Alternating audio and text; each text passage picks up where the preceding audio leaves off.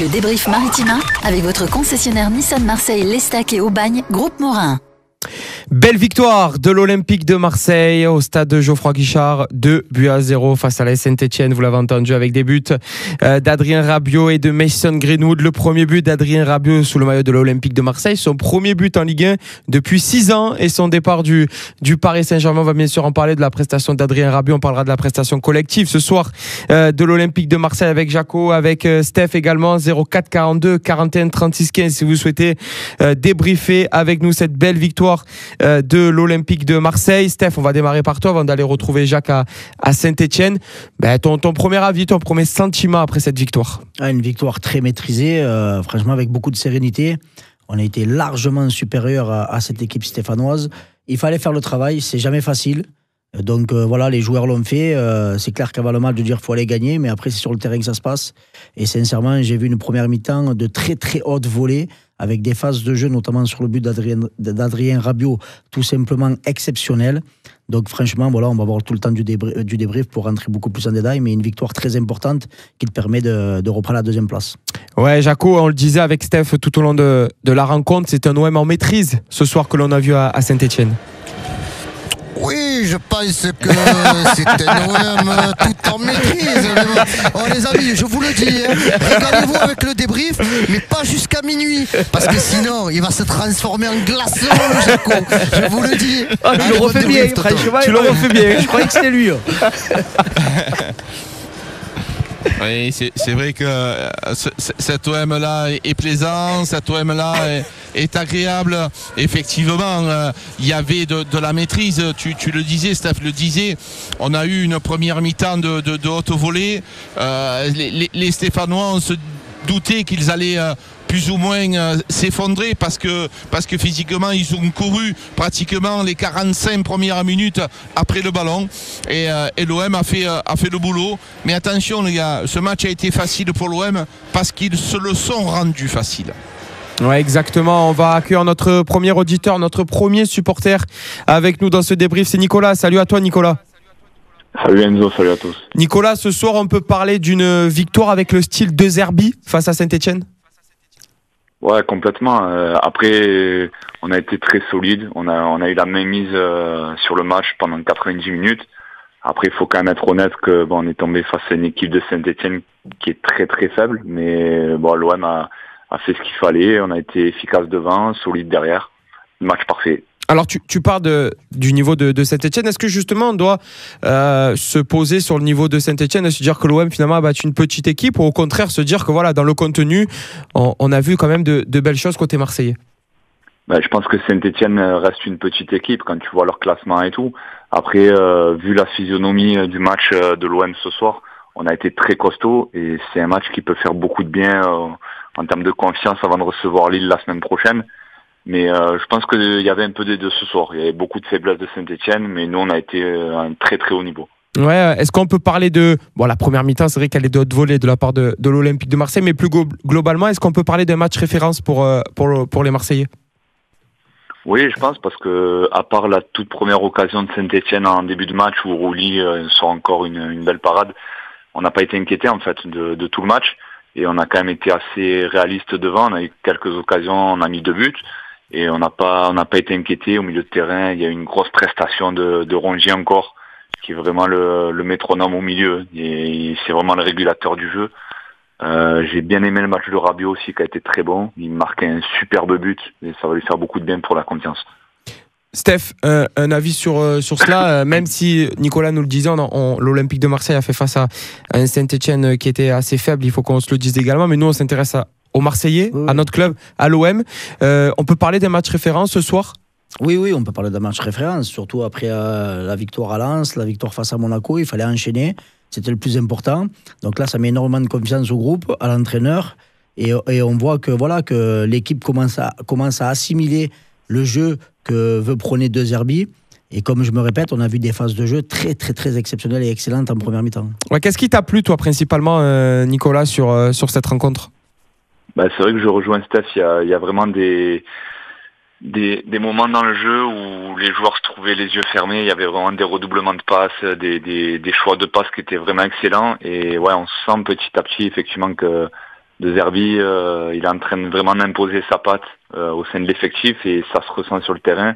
Et en tant que supporter, c'est vraiment un kiff de voir cette équipe euh, jouer. Toute confiance pour, pour la semaine prochaine face à Lille? Ça va être un gros match. Après, je pense qu'au Vélodrome, on a eu le déclic face à Monaco, donc je pense qu'on verra un tout autre OM au Vélodrome à partir de maintenant. Et ça va être compliqué, mais je pense que si on joue sur notre valeur euh, des dernières semaines, on peut, on peut prendre trois points contre Lille.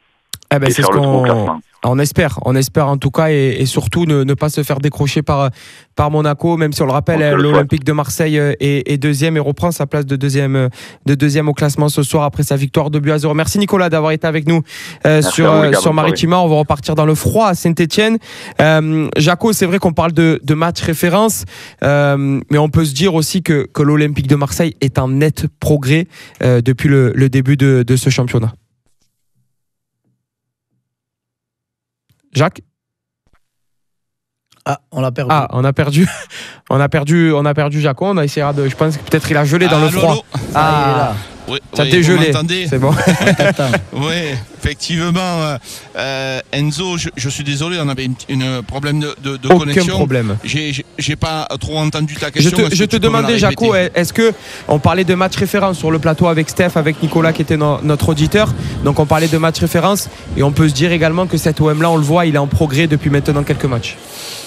Oui, oui, oui, je trouve que Nicolas était quand même assez sévère. Oui, effectivement, cet Étienne est, faible, mais bon, euh, euh, ils- sont faibles parce qu'on est fort. Et, euh, donc, l'OM a fait, le match. Le match référence, il a été aussi contre Monaco. Cet OM, si tu veux, tu as des joueurs de qualité. De Zerbi, leur reprocher leur manque d'implication, le, le- le man- le manque d'agressivité. Et là, ben, cette équipe, avec de l'agressivité, tu, as des talents. Et, et donc, euh, aujourd'hui, oui, ça fait. Lui aussi fait partie des matchs références, mais je pense que Monaco, aussi au vélodrome, est important. Ouais, Monaco, Nicolas le disait, c'est un petit peu le déclic aussi, notamment euh, à, domicile. En petite réaction, la première réaction euh, d'après-match de Geoffrey Kondogbia chez nos confrères de, de Dazen, du diffuseur. On repart content avec les trois points et la manière. C'est une bonne soirée, il va falloir continuer sur notre lancée. Euh, on est à l'aise sur le terrain, on doit continuer comme ça. On a respecté ce que le coach a mis en place. J'ai la confiance du coach, on doit continuer et surtout se soutenir dans les bons et les mauvais moments. Voilà la première réaction euh, de Geoffrey Kondogbia qui est, qui est aligné au, au poste de défenseur euh, en ce moment euh, à, à l'Olympique de, de Marseille. On continue avec Romain qui nous a rejoint. Salut Romain. Bonsoir Enzo, bonsoir à tous. Romain, l'OM et, et Roberto De Zerbi ont, ont trouvé le bon système à mettre en place pour inquiéter le- leur adversaire? Oui, ben, je pense que depuis plusieurs matchs, on a su, euh, on a su trouver, euh, je pense, la, meilleure équipe et, euh, et, le, meilleur schéma. Donc, je pense qu'aussi le retour de Valentin Rongier dans l'équipe a fait beaucoup de bien et le fait de, jouer avec un système de trois défenseurs avec de, avec latéraux offensifs, ça, on voit que c'est, on voit que c'est beaucoup mieux comme ça. Alors, est-ce que, bon, bien sûr, c'est un tout, tu vas me dire, mais mais est-ce que c'est un 11 qui est trouvé avec euh, des, des- des joueurs qui sont repositionnés à leur poste, le retour de Valentin Rongier également, ou plutôt un schéma euh, et des principes de jeu peut-être qui correspondent plus aux joueurs marseillais Qu'est-ce qui est pour toi là Qu'est-ce qui ressort le plus selon toi? Euh, pour moi, c'est le, le- la dernière, le schéma, le schéma, le, schéma de jeu. Je pense que déjà le fait de repasser, d'être repassé à trois, à une défense à trois, on prend, un peu moins l'eau derrière. Bon, même si les adversaires, bon, Saint-Etienne, c'est vrai que c'était faible ce soir, mais après, c'est vrai que contre Lens et contre Monaco, on a vu que c'était un peu mieux, c'était un peu plus solide. On voit que les joueurs ils sont un peu plus à l'aise et on, voit des joueurs, voilà, qui retrouvent aussi leur poste. Donc euh, c'est ça aussi, ça, ça, change beaucoup de beaucoup de choses. On sent que les joueurs sont beaucoup plus à l'aise dans, dans ce schéma. Tu parlais du retour de, de Valentin Rongier. Ce soir, qu'est-ce qui t'a apporté, Valentin Rongier? Bah, je trouve qu'il a apporté de la, de la sérénité au milieu. On voit qu'il récupère beaucoup de, beaucoup de ballons. Euh, même si on sent qu'il euh, n'est pas encore à 100%, mais bon, on, voit que petit à petit, il retrouve ses sensations. On sait qu'il revient d'une très longue blessure, donc euh, ça n'a pas été euh, évident pour lui. Et, à chaque fois, ben, on voit que c'est un joueur qui, mal- malgré tous les entraîneurs qui passent euh, dans notre club, à chaque fois, ben, il gagne sa place de titulaire. Et c'est vrai que de- depuis qu'il est revenu, on sent que au milieu, il y a, il y a quand même un, un- un peu du mieux avec Osberg et, et Rabiot. Ouais, ce soir, Steph, euh, on parle de Rongier, on peut parler aussi de Pierre-Emile Heuberg, euh, qui- qu'on trouvait un petit peu en deçà euh, lors, de ces derniers, lors de ces derniers matchs. C'est vrai que ce soir aussi, on a retrouvé un petit peu le Pierre-Emile Heuberg du début de saison. Oui, oui, oui, on l'a retrouvé. Après, c'est clair qu'il va y avoir quelques joueurs euh, tout au long de la saison qui vont avoir des coups de moins bien. Bien sûr. Mais, euh, mais oui, ce soir, voilà, on a eu un milieu très, très, très costaud et un Valentin Roger qui t'a amor- qui t'a amené pardon, énormément d'équilibre. Et euh, il a joué énormément vers l'ava- vers l'avant, souvent à une touche de balle, donc ce qui fait que tu as pris le- les devants sur Saint-Etienne. Et ce qui a fait qu'en première mi-temps, on a été largement au-dessus. Dès qu'on a voulu un peu plus porter le ballon en seconde, on a vu qu'on avait un petit peu plus de difficulté à aller de l'avant. Euh, frustré un petit peu, euh, Romain, de, de, de voir qu'il y ait qu'un but à zéro finalement à la mi-temps, parce que quand on voit cette première période réalisée par l'Olympique de Marseille, bah, on peut se dire qu'il manquait juste l'efficacité de mettre deux voire trois buts. Oui, il y a, un peu ce regret d'être rentré qu'à 0 à la mi-temps. Je pense qu'on méritait de, de mener sur un score un peu plus large. Mais bon, après, heureusement que, derrière, on a su bien gérer. On n'a pas été trop inquiété non plus. Mais, euh, mais moi, ça fait plaisir de voir du jeu. Voilà, même si euh, euh, il n'y a pas d'efficacité au bout, il y a quand même, il y a eu quand même beaucoup de positifs cette première mi-temps. Après, euh, voilà, on sent, on sent OM qui a su, euh, on a vu un OM qui a su gérer son match euh, mal- malgré tout. Ouais, on le disait, Noël en, en maîtrise. Prochain match pour les Marseillais, Romain, c'est Lille, euh, qui s'est imposé vendredi euh, 3 buts à 1 face euh, au stade brestois à, do- à domicile, avec notamment un doublé de, de Jonathan David. Quelle peut être la clé, selon toi, de, de cette rencontre? Et est-ce que voilà, tu, tu es confiant comme, comme Nicolas l'était euh, tout à l'heure? Ben, la clé, c'est déjà, de, déjà de, con- de continuer déjà sur cette, euh, sur, cette voie-là. Il faut, euh, il faut garder cette, cette équipe-là, qu'il faut pas, faut pas la changer.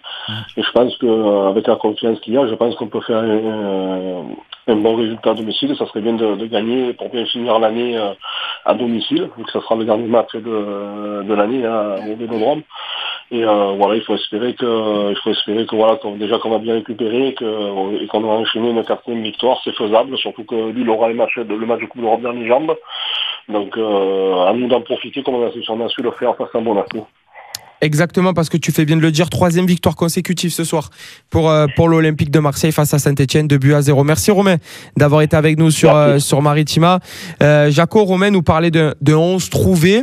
Euh, toi, tu parles des fois que voilà, il faut concerner toujours 14, 15 joueurs euh, pour, euh, pour, voilà, pour que on, sait, une saison est longue, il faut concerner tout le monde. Euh, Est-ce que toi, tu repartiras avec les mêmes 11 euh, de, de ce soir pour, pour le prochain match face à Lille? Est-ce que les 11 t'ont convaincu ce soir? Oui, effectivement, le 11 de départ est, est agréable à voir. Il y a des, des, des joueurs qui ont confirmé. Tu vois, jusqu'à jusqu'à présent, Luis Garcia a fait le boulot en remplacement de Quentin Merlin. Ce soir, Merlin a été quand même très efficace. Une technique supplémentaire contre une équipe lilloise, on va en avoir besoin. Donc euh, oui, pour l'instant, euh, la, la fameuse doublette euh, Rongier-Egberg est très très très intéressante. Après Neil Mopé, toujours euh, lui le, fameux euh, compagnon, le fameux chien de garde qui est devant, qui est, attentif à, euh, chaque ballon. Il a été ce soir encore passeur décisif. Mais, voilà, quand tu as une équipe comme ça aussi performante, les remplaçants, il faut qu'ils se bougent pour pouvoir essayer de montrer le bout de leur nez. Et on a quand même des, remplaçants de qualité. Il faut y penser parce qu'on a vu l'entrée de Jonathan Rowe qui est capable d'accélérer et d'aller très très vite. On a vu Eli malheureusement, il manque toujours ce, petit, euh, ce petit plus pour pouvoir marquer ce but-là. Mais n'oublions pas que c'est un joueur de, qualité. Il faut surtout pas les brûler. Imagine-toi que, que Neil Mopé se, se fasse une petite contracture. Si tu n'as pas euh, un Eli Wahi euh, euh, qui est pardon avec nous, qui est concerné, eh ben tu seras en difficulté. C'est pour ça, tu le dis si bien, il faut concerner véritablement euh, tous tous les joueurs de, de l'effectif. Comme on le disait tout à l'heure, une saison est longue avec les blessures, avec les suspendus, des matchs importants. Donc c'est sûr que concerner tout un groupe, c'est vraiment euh, très très important. On continue ce, ce débrief du bar des supporters. On est très heureux après cette victoire marseillaise, 2 buts à 0 sur la pelouse de, de Saint-Etienne. On va le rappeler tout au long de la soirée avec des buts euh, de Mason Greenwood et, et, euh, d'Adrien Rabiot. On va accueillir Franck, supporter de l'Olympique de Marseille. Salut Franck. Salut les gars, ça va les gars? Ben écoute, ça va très bien après cette victoire et toi, comment, comment tu l'analyses cette victoire marseillaise? Je l'analyse, euh, bah écoute, moi je suis très heureux ce soir parce qu'en fait, euh, on met un, on fait une belle première mi-temps avec une maîtrise totale, une fixation dans l'axe euh, de trois, en jeu en triangle qui était parfaite.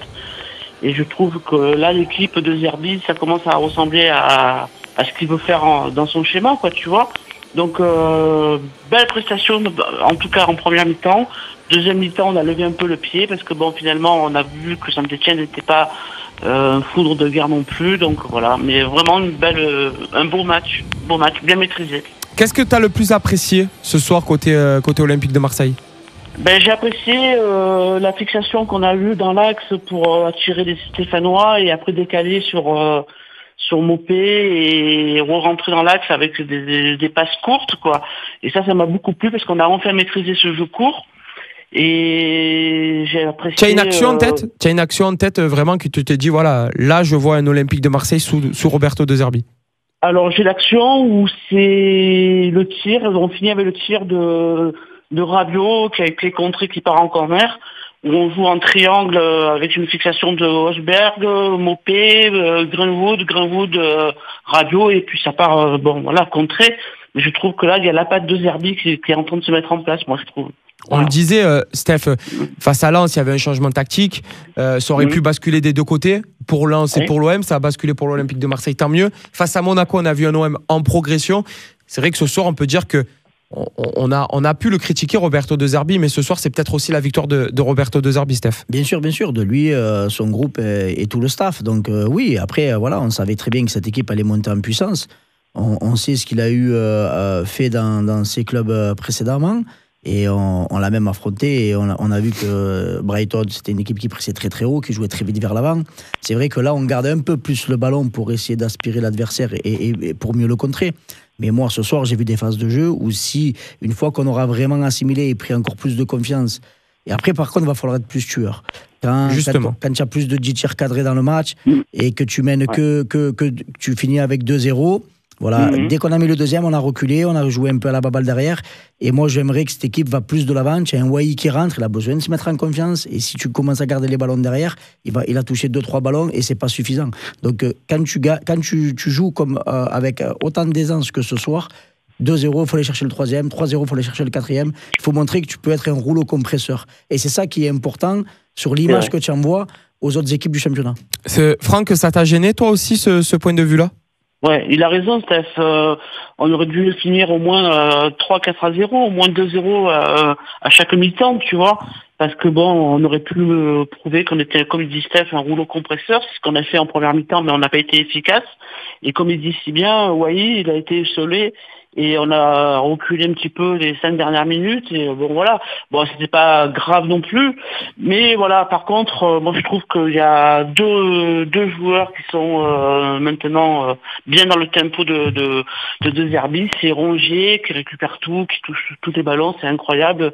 Et Rabiot euh, en hybride euh, à son poste, qui est un poste. Il est en train de monter en Bah, puissance, Adrien Rabiot, selon toi? Ouais, ouais, ouais, ouais. Bah ouais, tu le vois. Tu le vois tout de suite, euh, le mec. Puis, je sais pas, euh, les adversaires, ils doivent le respecter parce que il se balade. Il... Non, franchement, très, très fort. Et après, je trouve qu'il y a un joueur qui, quand même, chaque fois qu'il a le ballon, qu'il accélère, c'est Greenwood, qui, qui a fait encore un joli match euh, intéressant. Et un très étonnant, euh, à chaque fois on le dit et on le dira toujours, c'est Luis Enrique que- qui a trouvé sa place. Quoi. Non, Luis Enrique beaucoup plus mature. On va en parler dans, Ouais, dans ce ouais. débrief euh, euh, à, la, à la fin de cette émission. Merci Franck d'avoir été avec Je nous sur, euh, bisous, sur Maritima. Merci à toi d'être d'avoir, d'être intervenu et on te dit à très vite sur, sur nos antennes. Jaco, on, on parlait de, et Steph en parlait très bien et, et Franck également, de ce problème d'inefficacité offensive. Est-ce que c'est pour le moment le principal axe de progression pour Roberto De Zerbi et ses hommes Oui, oui, oui, euh, c'est- essentiel. Incontestablement, l'OM doit progresser euh, offensivement, mais est-ce que l'OM progresse? La question est oui. Euh, petit à petit, on trouvera un peu plus d'automatisme. On a du mal à avoir quand même la même équipe depuis très peu de temps, et les automatismes, ils se créent à force de jouer ensemble. Tu vois que Neil Mopé est en train euh, petit à petit de, s'apprivoiser avec euh, avec Rabiot, avec euh, Luis Enrique. Donc il faut du temps, il faut laisser un petit peu le, temps au temps pour que cet OM puisse être performant offensivement. C'est vrai que le, le à ce niveau-là, mais, mais euh, je peux vous dire quand même, on est second, on a battu Monaco, j'ai entendu des supporters se plaindre du match de Monaco, euh, on a gagné à Saint-Etienne, oui, c'est une petite équipe, oui, mais il fait froid, euh, c'est pas évident, l'OM a fait le travail, alors on se dit, on aurait pu en marquer 3, 4, oui, mais pourquoi pas 12 Euh, on, a fait le boulot, c'est- loin d'être évident, c'est compliqué dans ce jeu, tu sais, Enzo, tu, tu entraînes les, les enfants, on a tout joué au, au football. C'était un match à la con, excusez-moi l'expression, parce que tu arrives, tu sais que cette équipe elle est affaiblie, elle est mal positionnée, elle est mal au, au classement, mais il y a quand même une ferveur et, et selon comme il démarre le match, tout peut arriver, une erreur, une glissade, tu prends un but, tu vois, euh, un penalty, euh, euh, Alors, toi je, tu as un penalty je ne veux pas, je ne veux pas encore, euh, voilà, pousser à chaque fois le, le truc, mais l'arrêt de Geronimo Rulli à 0-0 au bout de deux minutes, ben, s'il y a but, c'est peut-être pas le même match. Et oui, c'est pour ça que je te dis, tu as une équipe qui est, qui est performante. Et quand euh, tu as une équipe, le gardien en fait partie. Et, et donc, si aujourd'hui on en est là, on sait tous que le gardien, il est important, voire essentiel à cette équipe. C'est pour ça que c'est une équipe équilibrée. Euh, c'est- difficile. Le championnat de, de- de France, il est difficile, il est âpre, il est compliqué. Et ça en fait partie, les gars. C'est cette atmosphère de, de Saint-Etienne. C'est toujours dur. Et euh, je trouve que pour l'instant, l'OM est en train de mettre en place une stratégie de travail. Imaginons-nous que l'on puisse gagner contre Lille. Eh ben, euh, on va tirer quand même un bilan et le bilan, il sera forcément positif parce que parce que l'OM est en train est en train de montrer de belles choses. Là, on est en train de voir des, des joueurs qui sont en train de faire ces fameux 15-15. Il y a un Nadir qui peut rentrer. Il y a il y a quand même un Koné qui est, qui est là qui peut nous apporter. Il y a Meïté, il y a Lilian Brassier qui ce soir est rentré. On on- on n'oublie pas aussi que il y avait Paul Lirola à la maison, un Aminarit. Donc euh, voilà, Ulysse l'OM Garcia. a un bel effet. euh, Ulysse Garcia qui a, qui a dépanné de fort belle manière. L'OM a construit un bel effectif. L'OM est en train de, de commencer à s'apprivoiser le championnat de France. Donc je vous en prie, laissons-lui un petit peu de temps. On lui laisse du temps à l'Olympique de Marseille, mais on est très heureux après cette victoire. 2 buts à 0 euh, face à, à la Saint-Etienne. On le rappelle, hein, Saint-Etienne-OM, c'est bientôt aussi parce que ça sera en Coupe de France et ça sera le, le dimanche euh, 22 décembre à 14h45 et ça sera bien sûr un match à suivre sur euh, Maritima. On continue à débriefer ce, cette 14e journée de Ligue 1 avec Nabil qui nous a rejoint. Salut à toi Nabil. Eh, bonsoir, bonsoir Maritima, bonsoir Enzo, bonsoir Astel, Euh, bonsoir Jacques, bonsoir Karim, bonsoir toute l'équipe. Nabil, on, on a vu enfin l'OM en maîtrise ce soir? L'OM a maîtrisé son sujet? Ah, franchement, tu sais quoi, moi ce soir je suis vraiment très très content. Très content dans le sens où tu enchaînes ton troisième match et tu le gagnes, tu récupères ta deuxième place. Tu as eu une première mi-temps que tu l'as mené de bout en bout, tu as eu des actions euh, de part et d'autre et franchement, tu sais quoi, j'ai eu l'O- l'Olympique de Marseille que je voulais voir euh, durant, euh, durant pas mal de semaines et euh, j'ai enfin vu quelque chose qui me plaisait. Donc euh, voilà, ben, écoute... Alors qu'est-ce qui t'a plu? Qu'est-ce qui t'a plu ce soir, euh, Nabil? Qu'est-ce qui m'a plu? Ben Déjà, ceux qui reconduisent son 11 de départ, avec euh, un Valentin Rongier qu'on se rend compte qu'il est très important dans cet effectif-là, associé bien sûr à Huberg. Tu as, eu encore un joueur comme euh, le gardien de but, Rudy, qui nous fait encore euh, quelques arrêts, même s'il n'a pas eu de choses à faire dans, cette partie-là, mais il nous a quand même sorti quelques, quelques petites parades tranquillou. Et franchement, j'ai vu de la transition, j'ai vu des passes euh, propres, j'ai vu de l'accélération, j'ai vu, pff, c'est, voilà, c'est tout. Franchement, euh, ça n'a rien à voir avec euh, l'OM de, il y a 15 jours ou 3 semaines en arrière. quoi. Oui, ça c'est clair. Après, je veux revenir sur ce que tu dis sur Rouli. Je- J'étais en train de regarder là, le, le- le dernier clean sheet, il date du 20 octobre Contre Montpellier. contre Montpellier où on, où on a gagné 5 à 0 là-bas. Donc euh, ça va faire énormément de bien aussi à la défense et aux gardiens de, de pouvoir revenir à Marseille avec, euh, avec notre cage violet. Voilà, exactement. Donc, euh, je suis la vérité. Euh, après, je peux entendre les personnes qui, qui s'attendent euh, des centaines et des mille de venir à l'Olympique de Marseille. Mais là, aujourd'hui, euh, je sais pas, on me dit, ouais, c'est vrai, c'est Etienne, c'est faible, c'est faible, c'est faible. Mais bon, c'est des matchs qu'il faut gagner quand même. Et bien sûr. Donc euh, voilà, je la vérité. Moi, aujourd'hui, je suis très content que nous récupérons cette deuxième place qui est à notre portée et voir l'OM jouer comme ça, je pense que ça peut faire que du bien. Que ce soit nous pour les supporters et même pour les joueurs, on les sente plus libérés. Par contre, j'ai un petit bémol, c'est sur les rentrées. Cornelius, j'ai un Ouais. peu du mal. Mais franchement, ça me fait un peu peur. Quand je vois ces changements à la 72e, 73e, franchement, ça me fait un peu flipper parce que bon, Brassier, malheureusement, eh ben, j'y arrive pas, je suis désolé. Euh, Cornelius, ben, c'est pareil. Euh, je sais pas, j'ai du mal. Le seul, qui, contre- le seul qui a été au niveau, c'est Raw en rentrant. Voilà. Sinon, tous les autres, ça a été en deçà. Exactement. Donc après, bon, moi je te dis la vérité, je suis très content ce soir. Très content parce qu'en plus j'ai une grosse pensée à, à Monsieur Jacques Bay et les Karim Atab qui ont tapé euh, des kilomètres et qui se sont pris euh, moins, moins 800 degrés là-bas où ils sont. et il fallait mieux revenir avec les trois points parce que sinon demain ça aurait été chauffé à la commanderie, ça c'est une certitude. hein. Et il se gèle. Je te le dis, il se gèle, hein, euh, Jacques. me c'est- pour ça on va faire un peu durer le débrief. On va faire durer le débrief. On a le temps encore. On a Non, le temps. Je me languis de voir le- la, la vidéo sur YouTube pour voir la tête à, à Karim, comment il est. Tu vois, je me languis que ça, moi. À mon avis, tu vas voir que les yeux. Ah oui, par contre, les gars, je vais vous laisser. J'ai juste un petit truc à dire. Vite, bien fait. La semaine dernière, j'ai appelé pour souhaiter la euh, un joyeux anniversaire en retard pour de Monsieur Jacques Bail, mais malheureusement, on m'a pas pris à l'antenne. Hein mais bon, c'est pas grave. Donc, Jacques Bail, Monsieur Jacques Bail, merde, euh, je, je te souhaite un joyeux anniversaire euh, dix jours plus tard. C'est pas grave. Je souhaite un joyeux anniversaire à ma fille, ma fille que j'aime tant, qui a fait fêter ses 22 ans. Donc voilà, je Ouais, t'aime. joyeux énormément. anniversaire à Ah ta ben fille, voilà, euh, joyeux anniversaire à ta fille. euh, et un truc, les gars, et un truc très important, je vous kiffe de ouf, Maritima. vous êtes des bombasses. Bomba Merci, c'est gentil. Merci, Incroyable. merci Nabil, merci d'avoir été- d'être intervenu euh, sur euh, sur Maritima et, et à très vite dans, dans le débrief du euh, du, du bar des supporters. Restons sur cette belle victoire euh, de l'Olympique de Marseille avec une euh, une réaction de Adrien Rabiot euh, chez nos confrères encore une fois de, de Dazen hein, qui, est, qui est le diffuseur. Il fait un véritable appel du pied à Paul Pogba. Il le dit encore, oui, j'ai joué avec Paul Pogba à la Juventus de Turin. Malheureusement, je n'ai pas assez joué avec des problèmes physiques de, de part et d'autre. Il dit oui, j'aimerais que Paul Pogba vienne à Marseille parce que les ambitions des dirigeants et du club, on est en train de monter quelque chose de grand. Donc c'est là, il est plus appel du pied, il peut pas, Adrien Rabiot. Écoute, tu sais, comme on dit souvent, moi je crois que ce que je vois. Il y a des appels du pied, c'est splendide, mais à la fin, il faut mettre au fond. Donc c'est clair si tu as la possi- possibilité de faire Paul Pogba, tu dois le faire.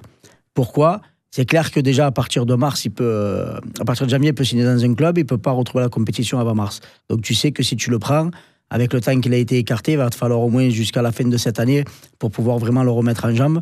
Et si tu arrives à, déc- à décrocher la Ligue des Champions, l'année prochaine, ça peut être métronome de, de, de ton secteur offensif. Et c'est ça qu'on n'a pas aujourd'hui, un joueur de cette qualité technique, de passe courte, passe longue, de puissance, qui va, qui va vraiment pouvoir t'apporter un vrai plus dans le secteur offensif. Maintenant, à aujourd'hui, rien n'est fait. Mais c'est clair, si tu fais Pogba, Rabiot, Heubière et avec les, les, les- les prestats de Rongier, parce qu'il faut le dire encore, depuis qu'il est revenu, on voit plus le même OM. Et je pense que De Zerbi, eh ben, ça va être un des premiers joueurs qui va mettre lorsqu'il va composer son 11 avec les prestats qu'il est en train de nous faire. Mais c'est clair que si tu as ce, ce quatuor-là au milieu, en sachant tu peux faire monter Kondogbia, c'est tout simplement exceptionnel. Ouais, Jaco, j'aimerais t'entendre là-dessus. Ce que nous dit Adrien Rabiot, je répète encore une fois, ce sont ces, ces mots, ce qu'on est en train de mettre en place, c'est très important. Il y a une vraie dynamique, c'est très professionnel. Des joueurs jusqu'au coach en passant par la direction. Il y a vraiment de l'ambition. Si Paul veut venir, c'est avec un grand plaisir.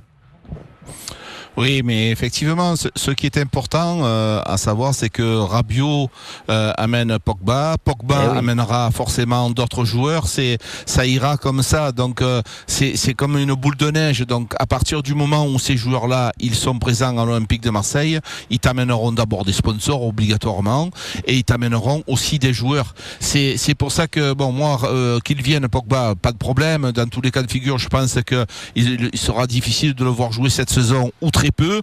On, on en aura besoin dans le vestiaire, on en aura besoin tout au long de, de la saison pour des, des performances parce qu'on sait qu'il est, il est très utile. Mais l'Olympique de Marseille actuellement au milieu est quand même assez fourni. Hein. Euh, Il faut pas, faut pas oublier. Vous l'avez dit, hein, il y a des joueurs de, de qualité en quantité euh, pour pouvoir prendre la place de, de Rongier ou de, de, de Pierre-Émile Hubert. Il va falloir que Pogba se mette vraiment euh, euh, au travail, qu'il rattrape le, le temps perdu. Un petit point météo, les enfants. Ah. Là, il est en train de tomber des rideaux, mais des rideaux d'eau. Donc euh, le match est terminé, euh, heureusement, parce que maintenant, je vous garantis qu'il tombe énormément de pluie à Geoffroy Guichard. Donc euh, on est content que, le match soit fini parce que avec ce temps-là, souvent il y a des risques de blessures et c'est bien que en plus d'une victoire, l'OM ressort sans blessure et qu'un carton jaune. Exactement, c'est important de, le préciser. Un seul carton jaune, pas de blessure. Le bilan est, est plus que positif ce soir pour, pour l'Olympique de Marseille. On va enchaîner avec Louis qui nous a rejoint. Salut à toi, Louis. Bonsoir à tous, Maritima. Louis, on, on parlait du, du contenu voilà, que- qu'ont proposé les, euh, les Marseillais euh, ce soir. On parlait notamment de, de Valentin Rongier. Il y a une stat importante. À chaque fois que Valentin Rongier est titulaire cette saison, l'Olympique de Marseille gagne. Ah, tout à fait, il est revenu en forme. Euh, il aurait dû déjà commencer depuis un petit, un petit moment. Après, l'entraîneur, ben, il ne faisait pas confiance. faut pas se le cacher. Hein. Il savait pas où le mettre euh, niveau euh, dans la dispo euh, du 11 de départ de l'OM. Et depuis trois matchs, euh, il a mis en plein milieu, il a mis à son poste et on a un milieu extraordinaire. Ouais, très très gros milieu de terrain avec Pierre-Emile Højbjerg, avec Adrien Rabiot, on en parlait également, et puis Valentin Rongier. Euh, on peut parler aussi du. Est-ce que Louis, tu, tu regrettes un petit peu que, que l'Olympique de Marseille n'ait pas pris un peu plus de risques, notamment en deuxième période, et qu'on a eu un OM un peu, un peu en gestion sur cette fin de match, notamment? Après, il faut pas se cacher, on était au-dessus de Saint-Etienne. Euh, 30, à 30e minute, on avait une possession de balle de 85%. On pouvait en planter. Après Saint-Etienne, euh, c'est pas une grosse équipe cette année. Ils se prennent un peu des cartouches à droite à gauche. Et, euh, et de l'OM, ils se sont un peu découverts, mais en deuxième mi-temps, on était au-dessus d'eux. Et après, c'est vrai, 2-0, c'est le minimum qu'on a pu mettre. On aurait pu en mettre 4 ou 5. Parlons d'un joueur. Vas-y, Steph. Oui, oui, parce que c'est pour ça que je revenais là-dessus. Jacques il dit oui, tu as gagné 2-0, c'est bien, mais j'aurais aimé que les rentrants, avec l'équipe qui pousse, qui pousse vers l'avant, comme on a fait un exemple sur les, le- la première demi-heure ou sur une partie de la seconde mi-temps, c'est pour mettre tout le monde au diapason, garder tout le monde impliqué. Si un Wai marque ce soir ou si un Ro marque ce soir, dans la confiance, c'est pas pareil. Alors après, pour, pour- c'est pas pour les défendre, hein, mais à part Eli Wahi, qui aurait pu être entreprenant devant les buts, parce que sinon, euh, Jonathan Roy, il rentre dans le temps additionnel. Oui. Parce que sinon, on a, on a Koum qui rentrait, mais à la 79e, on sait que c'est un jeune joueur, donc euh, bien évidemment, on n'en demande pas des, euh, des tonnes. Cornelius qui rentre en même temps que on lui demande pas d'être efficace de- non. devant les buts. Le seul, peut-être, on Le attend un peu plus, c'est Wai. C'est pour ça, c'est ce que je te dis. Après, moi, j'aurais fait rentrer Ro un peu plus avant. J'aurais l'aurais fait rentrer dans le dernier quart d'heure. Pour pareil, ça fait 2-3 matchs qu'on ne le voit plus, pour lui donner de, la compétition, pour lui donner de la confiance. Mais pour ça, il faut que l'équipe continue à pousser et aller de l'avant. Et c'est ce qui, m'a un peu gêné, c'est que, comme tu dis, oui, on a été en maîtrise, certes. Mais quand tu, peux mettre en confiance ton secteur offensif, faut pas hésiter. On va, on va parler d'un- joueur également ce soir qu'on n'a pas encore parlé, c'est Luis Enrique. Est-ce que Luis, tu, tu es impressionné, toi, match après match, euh, des rencontres de, de Luis Enrique de ses performances? Ah, il est, il est impressionnant. Sur son côté, il est impressionnant. Il joue, il défend, il court, il est jamais fatigué. Il a, il a au moins 10 poumons, le gars. Il m'impressionne chaque match sur chaque match. c'est, euh, c'est, il, a, il a vraiment euh, une métamorphose par rapport euh, à la saison dernière où tu, où tu ressens vraiment que, que Luis Enrique a changé? Dans quel compartiment de jeu? Comment, comment tu le ressens? Mais moi, je pense qu'il y a, euh, après, il faut pas se cacher, il y a l'ambiance du groupe. Euh, L'entraîneur, il lui fait confiance. L'année dernière, c'était il jouait, il jouait plus, il jouait, il jouait plus. Il savait plus trop où se mettre. Là, il joue, il voit que, ben, il y a beaucoup de choses qui tournent autour de lui. On parle en bien de lui. Ben, il prend confiance. C'est un joueur, euh, moi, en sachant dans le milieu de la pétanque, je, je sais ce que c'est. Euh, voilà. Là, il est en pleine bourre. L'équipe, le 11 du départ. Bon, on va regarder le capitaine parce que si je dis une connerie sur le capitaine, euh, Jaco, il va me tuer. Euh, voilà, parce que c'est le joueur préféré de Jaco, on le sait, et c'est toujours lui qui nous, qui nous fait peur derrière.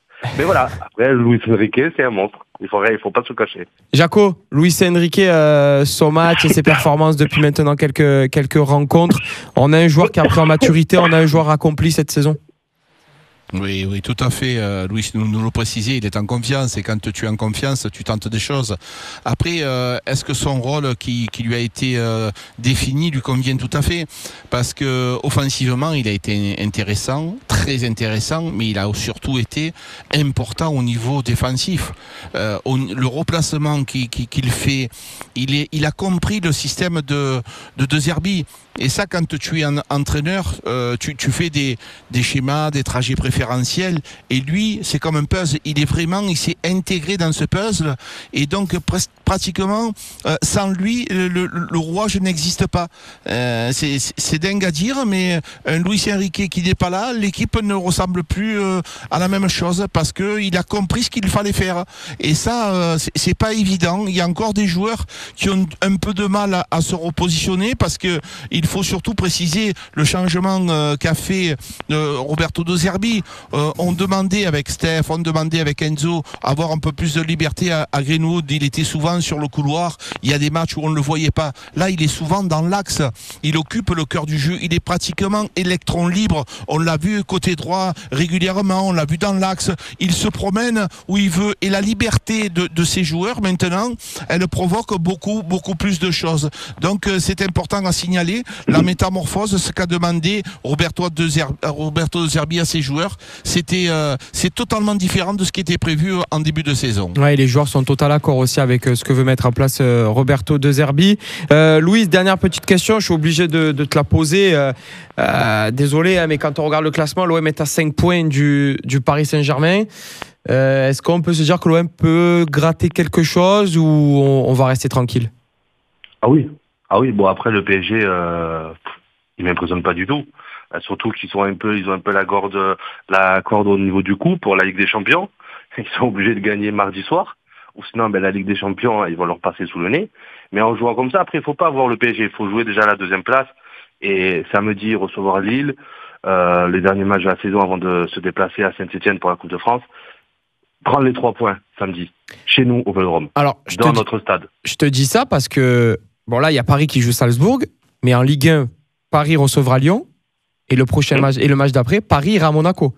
Oui, c'est pour ça. C'est pour vraiment ça que deux nous, matchs. On a, on a carte, euh, on a, on a toutes nos cartes dans les mains et euh, bah, ils nous ont vu l'OM que jouer dans notre stade euh, dimanche dernier contre Monaco, ben, ils nous ont impressionnés et, et je vois que c'est sur une continuité. À l'extérieur, on est intouchable, faut pas se le cacher.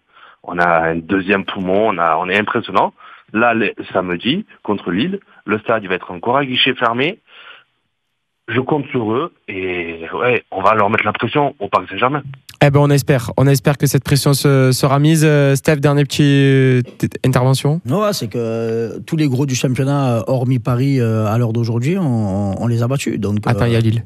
Oui, tous les gros à- aujourd'hui. Donc il va y avoir Lille. Donc si tu restes sur, euh, sur, euh, sur la même dynamique, et avec, comme vient de le dire Louis, avec euh, le, le Vélodrome qui a, qui a su retrouver du sourire après cette victoire face à Monaco, ben, tu peux les regarder droit dans les yeux. Ça va être un beau match à, à regarder. C'est une équipe Lille qui va vite de l'avant, avec le meilleur buteur du championnat, avec un Zegrova qui est exceptionnel, avec un très bon gardien. Donc ça va être un beau match de ballon, comme face à Monaco, qui va se jouer sur des détails. On aura les deux meilleurs gardiens de Ligue 1 face à Ah, face. Le meilleur, euh, c'est c'est le nôtre. Commence pas à t'emballer, toi. Hein. Ah oui, il a Euh, pas. Il a je y a dire- débat, il y a débat. un truc euh, à mon pote Louis. Bon rétablissement, mon frérot, et reviens vite. Merci beaucoup, c'est vraiment touchant de ta part. Que, ben, ton petit message, moi, malheureusement, ben, les championnats du monde m'ont passé sous le nez. Mais voilà, je suis avec euh, mes amis en train de regarder le match euh, ce soir, ils ont été là auprès de moi. Et ben, je fais une petite dédicace à mes amis et à toi, euh, mon Steph, et mon Karim, et le Jaco, euh, que, Alors- euh, il faut pas toucher son petit-fils. euh, le Louis, défenseur. Louise, pour, euh, pour ceux qui, qui nous écoutent, euh, tu devais participer au championnat du monde de pétanque. C'est bien ça? Oui, c'est ça, avec euh, l'équipe nationale du Portugal. Et euh, j'ai eu un petit souci, je me suis fait opérer, je me suis cassé l'orteil du pied, j'ai dû me faire opérer euh, en urgence. Et à une semaine du départ au championnat du monde, ben, j'ai dû déclarer forfait. Eh ben, bon rétablissement à toi et on espère que, que tu te relèveras vite euh, de, de ce petit contretemps et que tu reviendras encore plus fort pour, euh, pour des prochaines échéances pour, euh, pour toi, Louis. Merci en tout cas Ben, d'être euh, beaucoup. venu sur, sur Maritima euh, ce soir après, après cette belle victoire de, de l'Olympique de Marseille. Jacques, Steph, on va finir avec le top 3 et le flop 3. Je vous le dis, pas de flop 3. Pas de Voilà. flop. Que des tops, parce qu'on va retenir les bonnes choses. On va démarrer par toi, Steph. Le top 3. Rongier en 1, Rabiot et Enrique. Rongier, Rabiot, Enrique pour Steph. Et pour toi, Jaco Et moi, j'ai mis euh, Rabiot, euh, Rabiot Rongier en numéro 2 et j'ai mis euh, j'ai mis euh, j'hésitais entre Balerdi et Luis Enrique. Euh, et, et tu peux pas aussi oublier Rulli comme vous l'avez dit. Euh, c'est ce sont des joueurs les les six qui ont été très très très importants.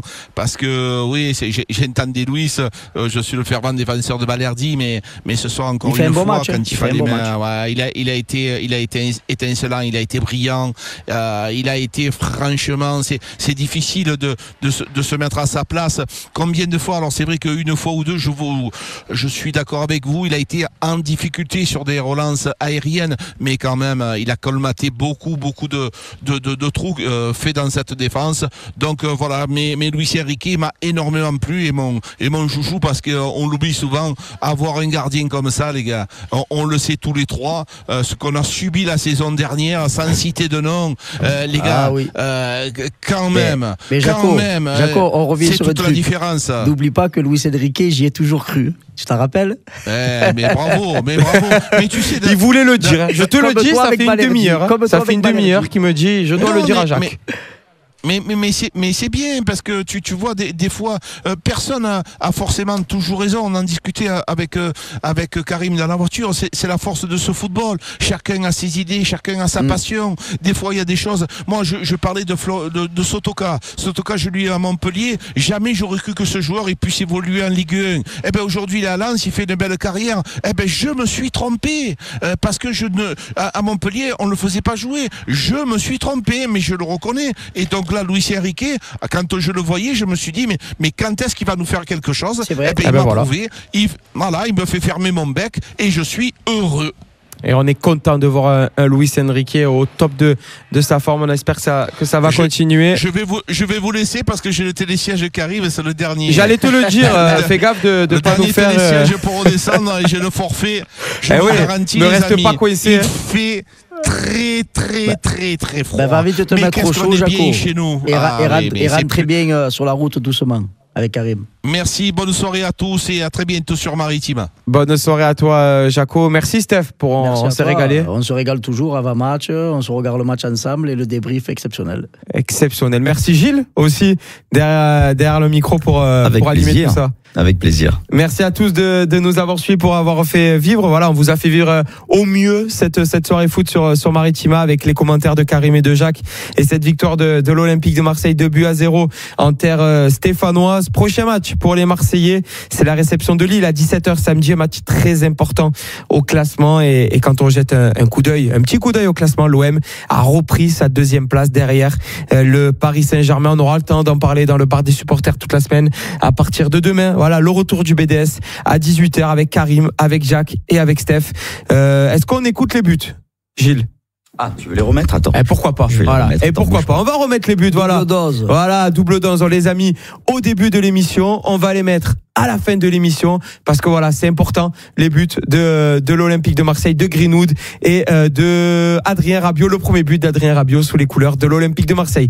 Excellente fin de soirée sur Maritima. C'est Logiquement, ça va au fond, c'est le